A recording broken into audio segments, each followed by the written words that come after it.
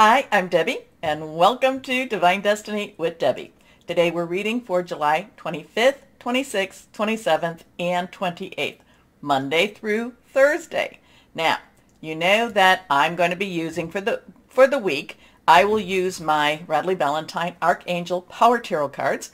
I will pull one from my Radleigh Valentine Guardian Angels.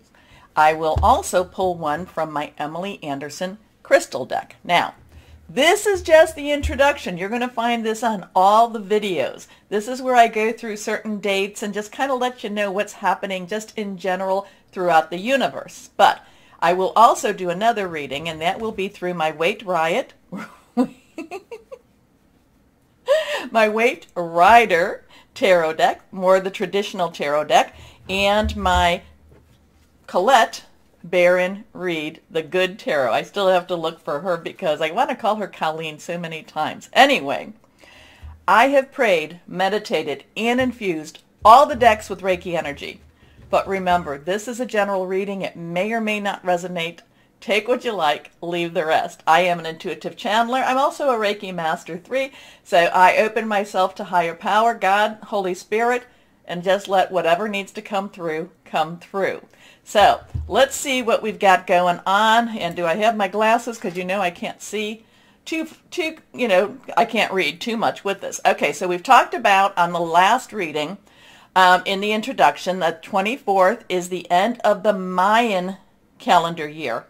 There's a lot of different calendars. We've got the Gregorian, we've got the Chinese, we've got the astrological, we've got the Mayan or the Aztec um, years. So uh, the 24th, the end of that year. So then we have the 25th, which is the day outside of time, very highly psychic, um, very highly intuitive. It is a time of great contemplation. And then we start the new Mayan year on the 26th. On the 28th, we have Jupiter, which is in, which is in Aries, going retrograde at 4.38 a.m. Eastern Standard Time. And remember, it doesn't just go like, you know, it's not just like a switch. So it's been slowing up, it gets, it's slow, and then it starts to, you know, appear to move backwards. And on the 28th at 1.54 p.m. Eastern Time, we have the new moon in Leo. So very good time for, and we are in Leo season, so very good time for you to put out your um, requests. It does start new seasons. It's a good time to start new jobs. It's a good time to just, um, you know, turn that new leaf over, okay?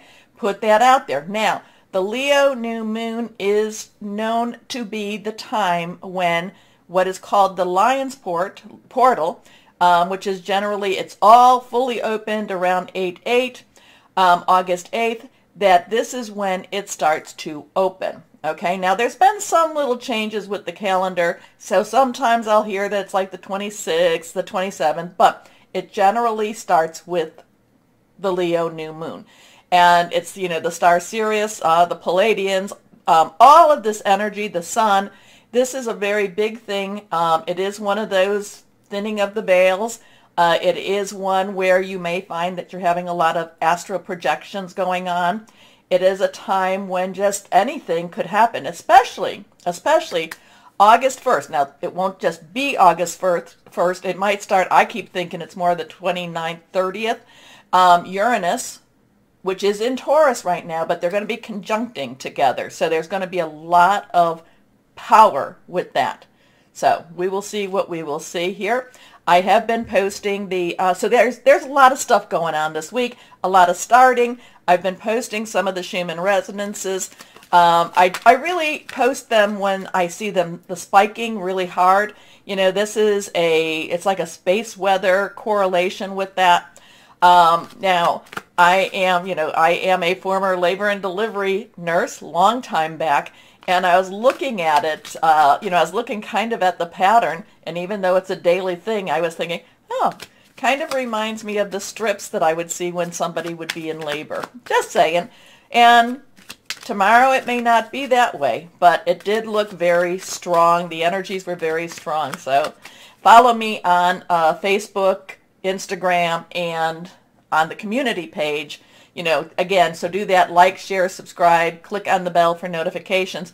I do post, I try to post everything on all three platforms because I know a lot of people aren't on Facebook or Instagram.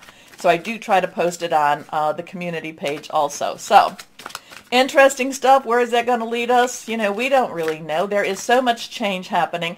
We feel it so strongly. We feel it so strongly. You know, people are getting, you know, very um, physical manifestations with this too. And you know, not to say I'm not I'm not telling you not to see your doctor or your healthcare person or whoever that is for you, but we just have been feeling lots and lots of changes and lots of this energy. So we have so you know, mask higher power source God, what we have going on, and you know, especially for this week of the 25th. Let's see. We've got two cards that are face up that kind of felt that fell out, and let's see what we have. Oh, alrighty. So we have, remember, numbers are important. Numbers can be used for darker energies, but we are light workers. We are star seeds, so we're going to be pulling those and pulling them into the lighter energies. So now we have six. Six is the number of man. It's the energies that we put into something. Now we can put, you know, if we put our energy into something that's negative, we will get negative back. If we keep our vibrations very, very high, and especially with these resonance has, happening, especially with all this intense energies. And there's there's other things going on in the heavens too. You know, it's just it's just we're being bombarded almost every day. Again, kind of like those contractions too. So now, six number of man. Now we have the pentacles here. Pentacles is earth energy. It is your Capricorn. It is your Taurus. Now remember, Pluto, I think Pluto is retrograde right now in Capricorn. It's going to be there just for a little bit more. Um, we also have Taurus, and again, remember what I was saying about Uranus and Taurus. Virgo. Virgo's our next sign over, so our next season to come. So this is our earth, our money, our job, our career. Um, it could also be your home. It's very, very tangible. Now the six of Pentacles, I do love this because this is money from unexpected sources. These are things that are, you know, this is money coming to help take care of us. Now, in some ways, this card, you know, with the, um, you know, with the rider deck, this card is a little bit different than some of the other ones too. This one is we have to go and ask for the money, or we we could either be the supplicants or we can be the providers. Okay, we can be the ones giving or we can be the ones get receiving. Um, the thing about it is we do have our we do have our scales there. We do have our justice there. So I am not saying I don't know if they're weighing things, um, but again, uh, there is there is money that is coming. It doesn't necessarily mean that we are, um, you know, I, again, which which way are we? Are we the provider? Are we the supplicants? Are we the ones that are asking for the money? Are we the ones giving the money? Generally speaking, I feel like it's us asking for the money. Now, remember too, you know, if you don't ask, you don't receive. You don't, you know, the answer, you, you don't ask, answer's always a no. You ask, it could still be a no, but it could be a yes. So try, try. If this is a, if you're looking for that job, try, okay? If you're going on the interview, try. This is the whole thing of this week. I think you just have to keep trying, no matter how it feels to you. Um, you know, this is again too. Maybe it's about a it's a pride thing, um, but this there is a little bit of answered prayers with this energy also that I'm receiving. Okay, so let's see. Now we have temperance. Temperance has balance to it. Now, it's not necessarily, you know, in some ways you want to look at it as justice, but this is about balance. This is keep seeking and keeping that balance in ourselves. This is a 14. Now, we have a, you know, I break it down and I bring it to the lowest number. So we have that 1 has a new beginning, um, new start. We have a 4. 4 is stability. 4 is um, organization leadership. Add the 1 and 4 together, it's 5. 5 is about change, positive, negative. Temperance is, you know, keep cool, stay cool, stay calm. Let the, you know, let things happen, let things flow together. Be patient. Things are happening. Things are working themselves out. So I would say that, you know, maybe the money isn't necessarily the greatest money coming in. Maybe it's not the answer to all prayers, but it's going to be enough to get you by. And the, uh, or the universe is enough to get thing, get things by, get people by, get whatever's going on. Be patient. Temperance is about, you know, not leaning too much one way or the other, not leaning too much towards anger, but yet not leaning too much towards, um, you know, just, you know, giving up either. Okay, so interesting with this week with that. I do like I do like that Six of Pentacles energy too, but again, it's depending on this relationship. There is a relationship that we have to watch. I'm a little cautious with this one. I like it, but I'm a little cautious with it. Next card is, now we have the 17. Again, we have that 1 energy. We have a 10 energy. 10's our transition, so 10 plus 7. Now, 0 of the 10 is God's source energy, so higher power energy. We have that 7. 7 is the divine umbrella, divine um, covering, divine protection. 1 plus 7 is an 8. Eight has a lot of opportunity, a lot of possibilities. Eight's a very powerful number. Now we have the star. So the star, these two are universal energies, major arcana energies, big energies. These are, you know, some of this is stuff that maybe we don't necessarily uh, deserve, but, you know, there's also the thing with number five. Five also is for grace. And grace is, we may not deserve it, but it's still provided for us. It's kind of like a good parent with their child, and you know, and they're, you know, and I say good parent because I know that many have had not good parents. So it's kind of like the parent that does provide, even if the child um, has, you know, even if the child's been a little bit on the naughty side. Okay. So I don't know. Is that really a good parent or not? I don't know. Tough love? Maybe, maybe not. But the star is all about hope. The star is about positive. The star is about wishing upon a star. And, you know, especially since we have that on the 28th, that new moon. So positive energy. Remember, full moon to new moon is waning. It's getting smaller. Release, release, release. New moon to full moon, as it is waxing, it's getting bigger. Accept, accept, request, request. Okay? So there's something, I mean, Again, I'm not quite sure with this Pentacles if we need to apply for this money or if this money is going to be divinely um, inspired or divinely provided. Um, it is, again, you know, but we do have these, and these are two very divine energies, so it could be divinely um, provided. Okay? Something going on with the money situation this week, this, yeah, this week, and there's, um, you know, there's some divine intervention going on. Okay, let's see what we've got here with the Colette Baron Reid cards. Higher power. Okay, higher power. Do you want that one out? Sure. Here we go. Let's see. The Nine of Earth. So now we have nine. Uh, Earth is again the pentacle energy. So, um, you know, so it's a money, job, career, that Capricorn. And remember, Pluto is, re, you know, is retrograde and you know that Uranus uh, and Taurus, there are things that could be um, brought up, things that could be dug up, things could that could be um, you know very inspired energy in that tangible. So nine, you've got everything you need. Let's wrap it up. Um, you know, what are you going to choose? What are you going to decide? What are you going to do with it? Okay.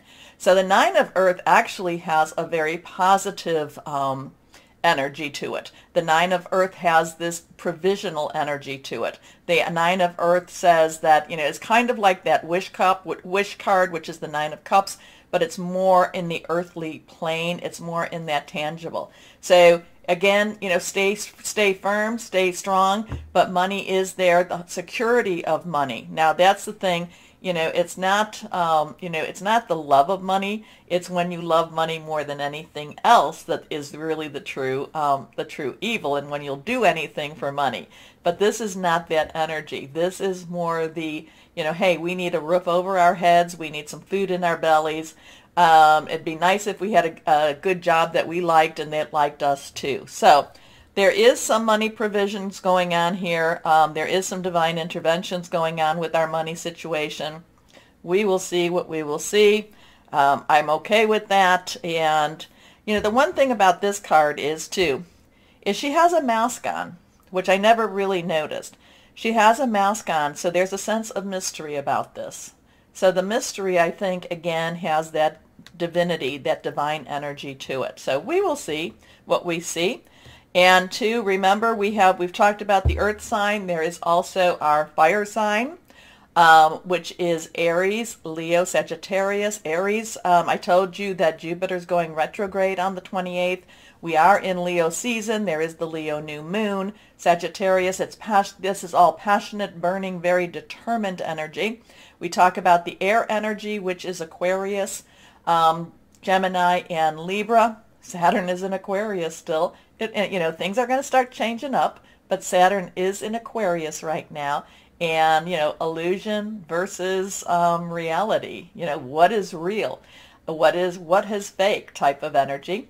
and that would be, again, that's our air or swords. And then we have our water or our cup energy, and that is Cancer, Pisces, Scorpio, fluid and emotional energy. A lot of Scorpio energy going on right now. And, you know, we, we do have Neptune retrograde in Pisces, so there's a lot of that mysterious, um, mysterious depth type of energy with that. Okay, anyway, why don't we go ahead again, like, share, subscribe, click on the bell for notifications.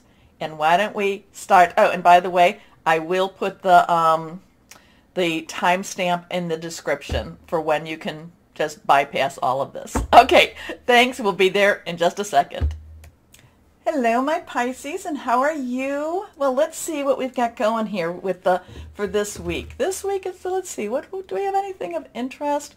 I do think that it's if you are starting that project that we've been talking about, I still feel for my Pisces that there is a lot of growth ahead of you in not just your um, spirit, well, in your spirit too. There's a lot of spiritual growth. There's a lot of financial growth coming for you too. I do feel that. I feel there's going to be opportunities for you to make money. And I know we've talked about like progressing, progressing, progressing. I do feel like there's just a lot of financial opportunities out there for you. You just have to stop I don't know, procrastinating or maybe um, is it, are you procrastinating or is it that you just don't have a lot of faith in yourself? I don't know, but I do think there's a lot of possibilities for you. Anyway, let's see what else higher power has to say for my Pisces. Okay, one, two, three. Now that could also be, you know that my husband's a Pisces, so maybe Oh, is he procrastinating? Okay, let's see who this might resonate for. Let's see. First card is a leap of faith. Believe. I told you.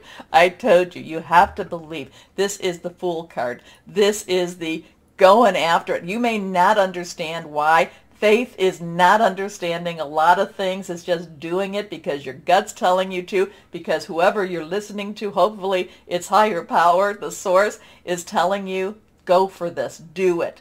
This is a start of a new beginning, a new job, a new career, a new life. And you just have to believe. You have to just have confidence. You just have to go for it. Okay? Like I said, I feel like there's opportunities out there. Whether you are you know, in your late, in your teens, your 20s, your 80s, your 90s, there's more to life. Go for the gusto. Grab. Yeah, that's an old beer commercial, right? Of. Anyway, Go for it. Do don't don't just think that you have to stop. This is the time for you to just, you know, hey, I'm just living. I'm living and I'm living big. Okay? But again, I do feel that there is a lot of possibilities and opportunities out there for my Pisces. The thing about it though is I think you have to make those opportunities happen. So we have a zero, God, source energy, that's that number. Uh, Metatron, believed to have been Enoch, before the flood, walked, talked with God, transfixed to the heavens, um, and made into an archangel Metatron. Now, the leap of faith, though, I do love the leap of faith. I love the dog. I love that, you know, he, he may not necessarily be ready, but he's going for it. Anyway, believe in yourself. Listen to your heart. Do what gives you joy. Okay?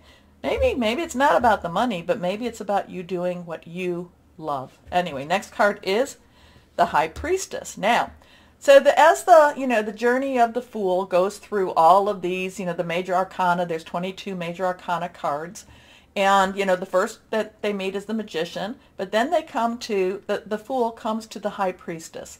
The high priestess, we have a two. Two is a crossroads, is a decision, is a joining. The two is the is saying, you know what, I'm going to believe in something greater than myself. The magician said, hey, believe in something greater than yourself. And the high priestess comes to the, you know, when the fool comes to the high priestess, the leap of faith, it's like I need, in order for me to get through whatever it is I have to get through, I have to be connected. I have to have that connection with higher power. I have to believe that what I'm doing is what I'm supposed to be doing. Okay?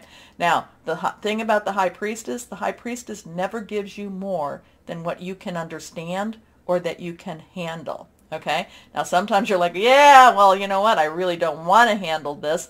Well, it is. It is what it is, what it is. The high priestess is an oracle of sorts. So listening to your, um, you know, your third eye, your gut, your crown chakras, you know, this is where you just say, I don't know why I believe. I just have to believe. I just, I am being pulled along this path.